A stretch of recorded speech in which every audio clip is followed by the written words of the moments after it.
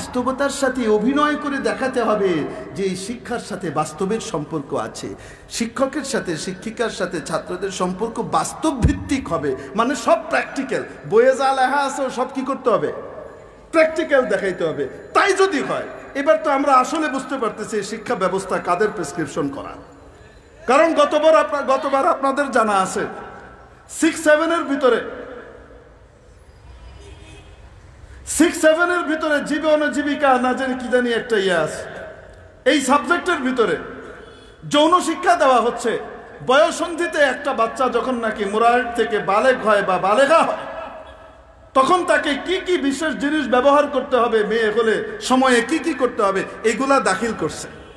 যেগুলো ইউরোপ, আমেরিকাতে এই সমস্ত জিনিস দেখায় এগুলা এখানে দিছে।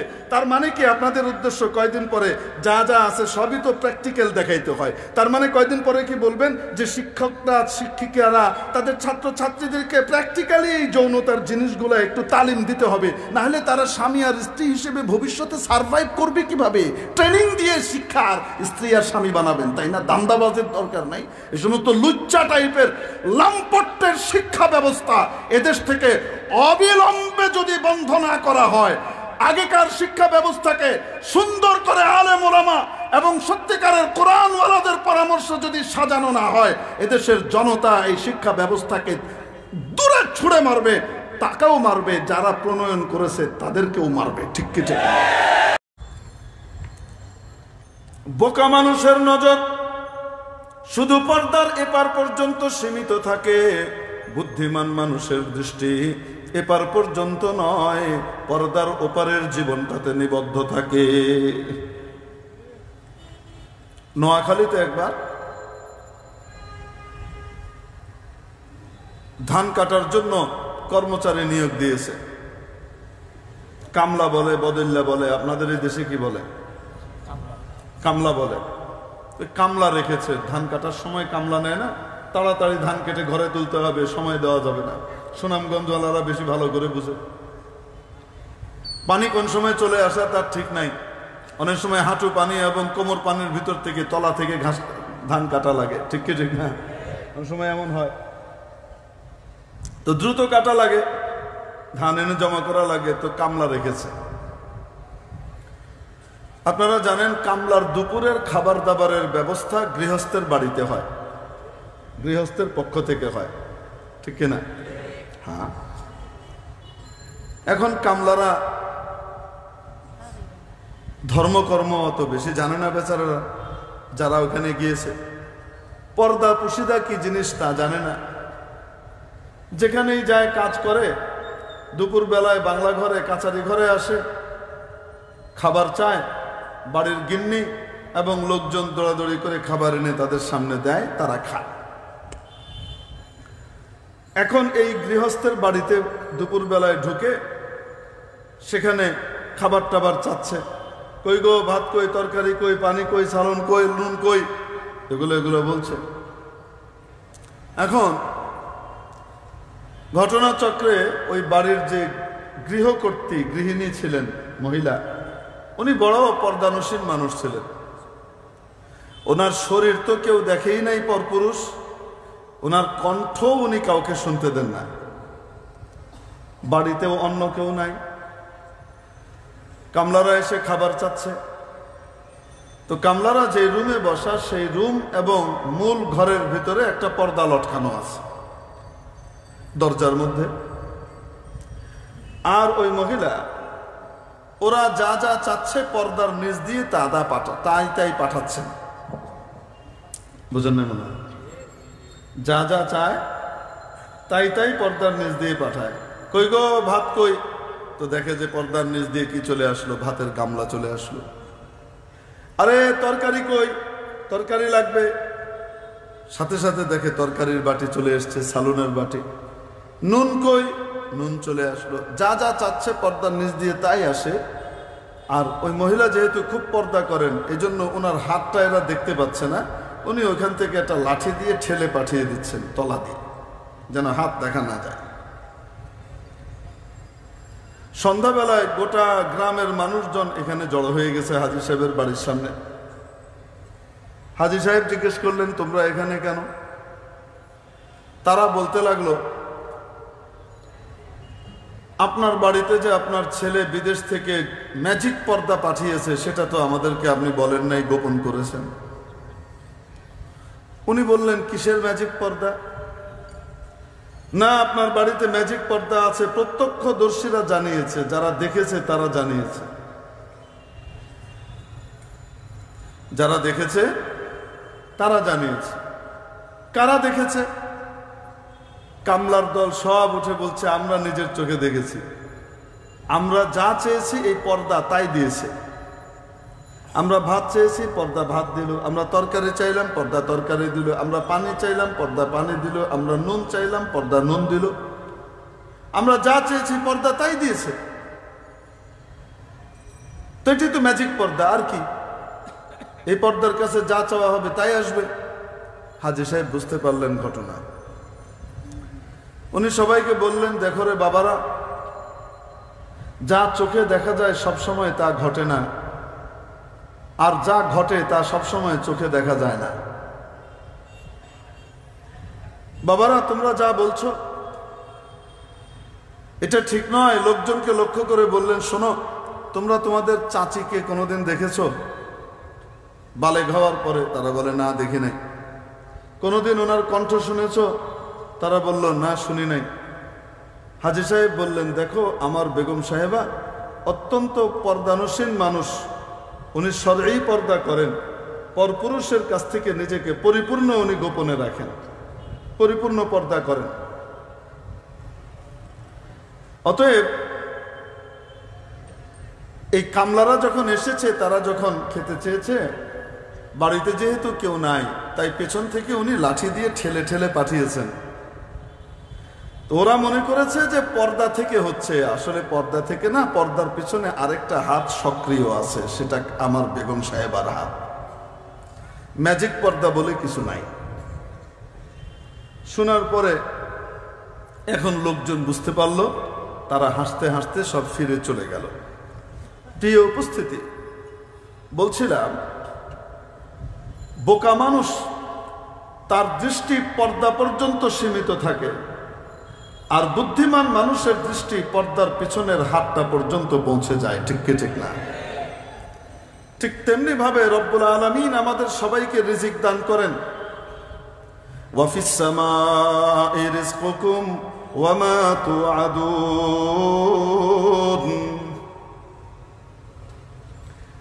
আসমানেই তোমাদের রিজিকের ফয়সলা হয়, আসমানেই একমাত্র তোমাদের রিজিক। সিদ্ধান্ত ওখানে হয় হ্যান্ড ওভার এখানে হয়। রব্বুল আলমিন রিজিক দান করেন। চাকরি একটা পর্দা, পেছনে আল্লাহর হাত। ক্ষেত খামার একটা পর্দা, পেছনে আল্লাহর হাত। ব্যবসা বাণিজ্য একটা পর্দা, পেছনে আল্লাহর হাত। হাদিয়াও একটা পর্দা, পেছনে আল্লাহর হাত। যে কোনোভাবেই আমাদের কাছে রেজিক আসুক না কেন, যেই মাধ্যমেই আসুক না কেন, এই মাধ্যম একটা পর্দা, পেছনে একজনের হাত আছে, জোরে বলুন সেটা কা আল্লাহর হাত সক্রিয়, এজন্য আল্লাহর হাতের ফয়সলা হয়, আর আমরা এখানে পাই। যদি দোকানে রিজিক দিত, তাহলে একই মেধার দুইজন ছাত্র একই সাথে দুই বন্ধু দোকান দিয়েছে পাশাপাশি। একজন এক দোকান থেকে দশ দোকানের মালিক হচ্ছে, আরেকজন এক দোকান থেকে ঋণের বোঝা মাথায় নিয়ে ব্যবসা তার লাটে উঠছে ঠিক কিনা? বোঝা গেল ফয়সালা কে করেন? আসতে বলেন কে করেন? যদি দুনিয়ার মানুষের হাতে ফয়সালা থাকতো তাহলে ডিগ্রিধারীরা সবচাইতে বড় বেশি রিজিকের অধিকারী হতো। সবচেয়ে বেশি মার্কস যারা পায়, তারাই সবচেয়ে বেশি রিজিকের অধিকারী হতো। যারা লেখাপড়া জানে না, তারা সব না খেয়ে মারা যেত। আগার রোজি তর রোজি নবুদে। বনাদা চুনা রোজির সানান কে দানান দরা হায়রা যদি রুটি রোজির সম্পর্ক ডিগ্রির সাথে হতো, বড় উচ্চ শিক্ষার সাথে হতো, তাহলে দুনিয়ার বড় বড় টাকা পয়সার অধিকারী তারাই হতো, উচ্চ শিক্ষিতরাই হতো, বিত্তবান তারাই হতো। আর যারা লেখাপড়া জানে না, তারা সব না খেয়ে মারা যেত, কারণ শিক্ষা দীক্ষা নাই, বলেন না কেন? ডিগ্রি নাই। স্কুলে যায় নাই, মাদ্রাসায় যায় নাই, কোথাও যাইতে পারে না সব না খেয়ে মারা যেত, অথচ দুনিয়ায় দেখা যায় আল্লাহ তালা একদম অশিক্ষিত, বকলম মানুষকে এমন ভাবে রিজিক দেন, এত রিজিক দেন যে বড় বড় শিক্ষিতরা হা করে তাকিয়ে থাকে, ওই টাকা তো জীবনে কামাতে পারব না শুধু তাকিয়েই থাকে, কল্পনাতেও আনতে চায় না যে ওই টাকা কোনদিন আমার কাছে আসতে পারে, ঠিক ঠিক? বড় বড় শিক্ষিতরা অশিক্ষিত মূর্খের ফ্যাক্টরিতে চাকরি করে, ওখান থেকে বেতন নেয়। বলেন না কেন? হুম? দেনকে দুটা ঘটনা শোনাই আপনাদেরকে, জীবন্ত ঘটনা। আমরা উনিশশো নব্বই থেকে দু হাজার পর্যন্ত বিজয়নগরে এক জায়গায় ভাড়া থাকতাম। আমার আব্বা ভাড়া থাকতেন। আমরা থাকতাম তিনতলায়। চারতলায় কিছু ডাক্তার থাকতেন দোতলায়ও ডাক্তার থাকতেন। ইঞ্জিনিয়ার ডাক্তাররাই থাকতেন পুরো বাড়িতে। তারা ভাড়া দিয়ে থাকেন। একদম ঢাকার হার্ট পয়েন্টে পুরোনা পল্টন বিজয়নগর। ওইখানে বাড়ি মেইন রোডের সাথে বাড়ি। যার বাড়িতে ভাড়া থাকেন ওই বেচারা একজন দুধওয়ালা ওই বেচারা একজন দুধওয়ালা দুধ বিক্রি করে ঢাকার একদম সেন্টার পয়েন্টে ঢাকার হার্টে বাড়ি করেছেন, কোনো দুই নম্বরই পয়সা দিয়ে না, এক নম্বরই পয়সা দিয়ে। কোনো দুই নম্বরই দুধ বেচে না। শুধু এখানে না, কচু খেতে এক বিঘার উপরে, প্রায় দুই বিঘার মতো জমি তার আছে মানে ক্যান্টনমেন্ট এরিয়াতে। কি করে? বলেন না কেন? দুধ বেচতেন। লেখাপড়ার দশা কি ছিল বলি? উনি যে ভাড়া বুঝে পেয়েছেন, এটার জন্য একটা স্লিপ দেওয়া লাগে না? বলেন না কেন? তো উনি আমার আব্বাকে খুব বিশ্বাস করতেন, তবলিগলা মানুষ। ইঞ্জিনিয়ার সাহেব আমনে লিখে দিবেন আমি সিগনেচার করে দিব আমনে লিখে দিবেন আমি কি কি করব সিগনেচার করে দিব যা যা লেখার আপনি লিখে দিবেন। আব্বা প্রত্যেকের ভাড়া বাবদ যা যা আছে, এগুলো সব লিখে দিতেন। আর উনি টাকাটা বুঝে পেয়ে কি করতেন? সিগনেচার করতেন। তো একদিন আম্মা আমাকে বললেন, তোর বাড়িওয়ালা নানা এসছে, যা ওখানে চা দিয়া। তো আমি চা নিয়ে উপরে গিয়েছি। ঠিক ওই সময় উনি সিগনেচার করছেন, ওনার নাম। ওই সিগনেচারের দশা দেখে আমার তো আক্কেল গুরু। উনি লিখেছেন, বজলে বহমান। কি লিখেছেন? উনি কোন কোন অক্ষরের কি উচ্চারণ, এগুলা কিছু জানেন না। উনি জানেন একটা সিম্বল উনি জানেন এরকম এরকম করে আঁকলে আমার নাম হয়।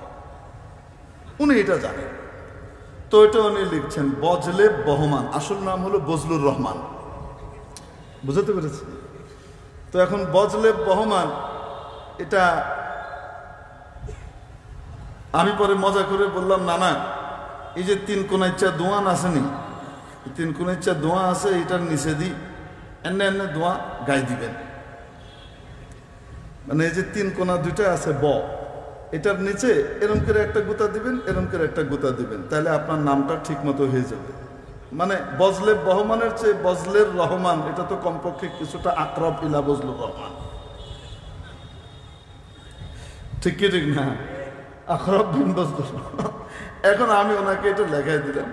ওমা দেখি তারপরেরগুলার ভিতরে উনি ওই তিন কোনা ওই বয়ের নেচে ওরকম করে কি মারছেন? গুঁতো মারছেন। কলমটা লেখা টেখা শেষ, তারপরে কলমটা এরকম করে ধরলেন, ধরে এই এই। এ হলো শিক্ষার বহর। তাকে আল্লাহ কি রিজিক দান করেছেন? ঢাকার সেন্টার পয়েন্টে তার বাড়ি। ক্যান্টনমেন্টের মধ্যে কচু খেতে দুই বিঘার মতো জায়গার ভিতরে বাড়ি। আর তার বাড়িতে ভাড়া থাকে বড় বড় ডাক্তার, ইঞ্জিনিয়াররা। রুজি দেন কে? আরেক ভদ্রলোক, আজকে নাম বলেই দিই, হাজি সালাউদ্দিন সাহেব। মরহুম, রহমতুল্লাহ আলী খুব দিন দরদি মানুষ ছিলেন আলে মোলামা এবং আল্লাহ ওলাদের সাথে উঠা বসা করতেন। ওনার ওখানে তারাবি পড়াতে আমাকে পাঠালেন দু বছরের জন্য। সন্দীপের হজরত মুসলিহ উম্মদ খলিফা মাদানী হজরত শেখ ইদ্রিস সন্দীপী রহমতুল্লাহ আলী উনি এসি মসজিদ বানিয়েছেন, উদ্বোধন করবেন। তো হাজির সাহেব আমাকে খুবই মহব্বত করতেন। হাজির সাহেবের মাসাল্লাহ রডের মিল ছিল ফ্যাক্টরি। রডের ফ্যাক্টরি। আর কত কি যে আছে ওনার, উনি নিজেও জানেন না। বিশ বাইশ তলা বিশাল টাওয়ার। কত টাকার মালিক উনি নিজেও জানেন না। ওনার ওখানে চাকরি করেন বড় বড় ইঞ্জিনিয়ার বড় বড় অর্থনীতিবিদ, বড় বড় শিক্ষাবিদ। ওনার ওখানে কি করেন? চাকরি করেন। একদিন ওনার জিএম এসছে ওনার কাছে, দেখা করতে, কিছু মানে কিছু কাগজে সিগনেচার নেবে। তো হাজি সাহেব, এখানে যখন সিগনেচার করা শুরু করলেন, আমি কৌতূহল বশত তাড়াতাড়ি আমার ঘড়ির স্টপ ওয়াচ আছে না, এটা অন করেছি। কতক্ষণ লাগে? উনি ওনার নামটা লিখেছেন। কয়েক অক্ষরের নাম। পাকা দুই মিনিট আঠারো সেকেন্ড লেগেছে লিখতে। একটা নাম লিখতে শুরু। আর এটাও জানেন না কোনটা কি অক্ষর? উনি জানেন, এভাবে আঁকলে আমার নাম হয়। শিক্ষার অবস্থা এই। আর তার কাছ থেকে রিজিক নিচ্ছে বড় বড় মাস্টার ডিগ্রি হোল্ডাররা পিএইচডি হোল্ডাররা, বড় বড় আপনার বিএসসি ইঞ্জিনিয়াররা এম এস করা ইঞ্জিনিয়াররা কে নিচ্ছে, তার কাছ থেকে টাকা নিচ্ছে। তার কাছ থেকে আল্লাহ তাদেরকে রিজিক দিচ্ছে। তাহলে রিজিকটা কার হাতে? আসতে বলেন। আরও আসতে বলেন, কার হাতে? এখন রিজিক দুই রকম। এক রকমের রিজিক খাইটা খাইতে হবে, আরেক রকমের রিজিকের ব্যাপারে মাবুদ ফয়সলা করে রাখছেন যে, না, আমি সম্মানের সাথে তার কাছে পৌঁছাইয়া দিব। তাদেরকে বেতন দেওয়া যায় না, তাদেরকে সম্মানই দেওয়া যায়। আলেম ওলামাকে, ইমাম সাহেবকে, মোয়াজ্জিন সাহেবদেরকে বেতন দেওয়া যায় না, সম্মানই দেওয়া যায়। এটা কি সম্মানই? আমরা লিখি বেতন। বেতন হবে না, হবে কি? বলেন। অনারিয়া, এটা সম্মানী। কারণ যে কাজটা করছেন, এই কাজটার বিনিময়ে দেওয়া কখনোই সম্ভব নয়, ঠিক কি, ঠিক না? এত উঁচু মানের, এত দামি কাজ। ইমাম সাহেব কোন জায়গা পূরণ করেন? সরওয়ারে কায়নাত সরকারে দো জাহান নবী। মোহাম্মদুর রসুল্লাহ সাল্লাহ আলহি ওয়াসাল্লাম যেই দায়িত্বটা পালন করেছেন, যেই পোস্টের অধিকারী ছিলেন, ইমাম সাহেবের যতদিন জীবিত ছিলেন, ইমামত করেছেন, ঠিক কি, ঠিক না? আর তার পরবর্তী পোস্ট যেটা, সেটা হলো মোয়াজ্জেন সাহেবের পোস্ট। সুহান আল্লাহ পরবর্তী পোস্ট কা মোয়াজ্জেন সাহেবের পোস্ট। এই জন্য ইসলামের জন্য সবচেয়ে বেশি ত্যাগ যাদের ছিল সবচেয়ে বেশি নিবেদিত প্রাণ যারা ছিলেন, যার মর্যাদা রব্বুল আলমিনের কাছে এত উপর পর্যন্ত পৌঁছে গিয়েছিল। নবীজি যখন সিদরাতুল মুনতাহা পার করে আর সে আজিমের দিকে রওনা দিয়েছেন, সাথে এখন আর জিবরিলও নাই। মক্কা মুকাররমা থেকে জিবরিল আমিন আরেক ফেরেশতা সাথে করে নিয়ে গিয়েছেন বাইতুল মুকাদ্দাস। বাইতুল মাকদিসে নেওয়ার পরে ওখানে সমস্ত নবী রসুলের রুহকে একত্রিত করে নবীজের নেতৃত্বে নামাজ পড়ানো হয়েছে সুহানাল্লাহ এই জন্য আমার নবী আক্ষরিক অর্থে ইমামুল মুরসালিন, সমস্ত নবী রসুলের ইমাম। আক্ষরিক অর্থে আল্লাহ এটা প্রমাণ করে দেখিয়েছেন। তারপর সেখান থেকে রওনা করলেন ঊর্ধ্ব জগতে। প্রথম আসমান, দ্বিতীয় আসমান, তৃতীয় আসমান, চতুর্থ আসমান। পঞ্চম আসমান, সপ্তম আসমান। এভাবে যেতে যেতে সিদরাতুল মুন্তাহায় পৌঁছলেন সপ্তম আসমানের অনেক উপরে। এমন এক এরিয়ায় পৌঁছলেন। এখান থেকে হজরত জিবরিল আমিন বলে দিলেন, আল্লাহর প্রিয় হাবিব, এখন আপনি যান, এখন আর আমি যেতে পারব না। ওখান থেকে আরও ঊর্ধ্ব লোকের বাহন এসেছে। এতক্ষণ ছিলেন বোরাকে। আরও ঊর্ধ্ব লোকের বাহন এসেছে, তার নাম রফরফ। রফরফে করে এখন আপনি রওনা হবেন। বন্ধু, আপনি যাবেন না। এতক্ষণ আপনি একসাথে ছিলেন, এখন যাবেন না। জিবরুল জিবরিল ইসলামকে নবীজি জিজ্ঞেস করছেন। নবীজির কে জিবরিল আলাইসালাম যে উত্তর দিয়েছিলেন, বলব নাকি? বলব? আদর শেখ সাদি রহমতুল্লাহ আলাই সেই উত্তরকে সুন্দর এক শের এবং পঙ্ক্তির ভিতরে এনে ঢুকিয়ে দিয়েছেন। আগার এক সারে মো, এবার তার পারম। اگر یک سر مو بر تر پرم, فروغ تجلی بسوزت پرم. ও আল্লাহর প্রিয় হাবিব, সীমানা আমার এখানেই শেষ। এখান থেকে যদি এক চুল পরিমাণ সামনে আমি অগ্রসর হই, আল্লাহর বিশেষ তাজাল্লি এবং নূরের এরিয়া শুরু হচ্ছে। আমি জিবরিলের সমস্ত পাখা টাখা, ডানা টানা সব পুড়ে সারখার হয়ে যাবে। আমি যেতে পারব দোজাহানের সরকার উপর দিকে যাওয়া শুরু করলেন। তাহলে মানুষের মর্যাদা ফেরেস্তার নিচে না উপরে? আরও আসতে বলেন কোন দিকে? হয়তো মানুষ জানোয়ার হবে, আর যদি জানোয়ারের কালচার থেকে নিজেকে মুক্ত করে, মানুষের কালচারে কালচার হতে পারে, তার মর্যাদা ফেরেস্তারও অনেক উপরে চলে যায়। আজমালা আজমালায়ক বহরেদারি ওয়াসবাহায়ম নিজে হম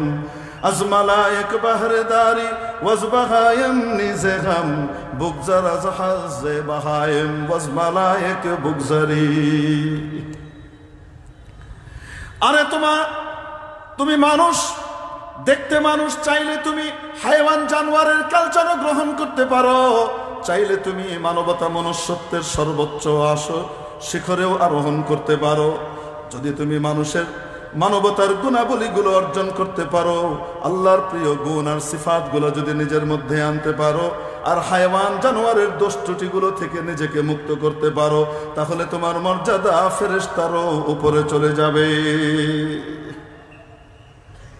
মানুষের মর্যাদা ফেরিস্তার নিচে না ফেরিস্তার উপরে? আসতে বলেন। সাধারণ মানুষের মর্যাদা সাধারণ ফেরিস্তার উপরে বিশেষ মানুষের মর্যাদা বিশেষ মানুষের উপরে।